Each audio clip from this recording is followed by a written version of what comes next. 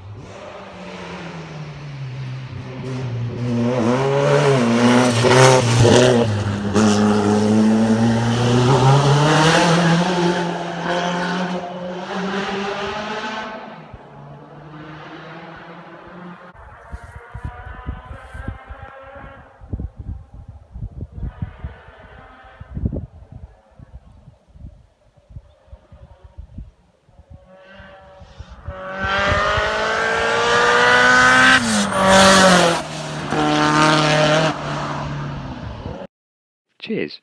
Thanks very much for watching. Hope you liked it. Feel free to comment or subscribe and stay safe.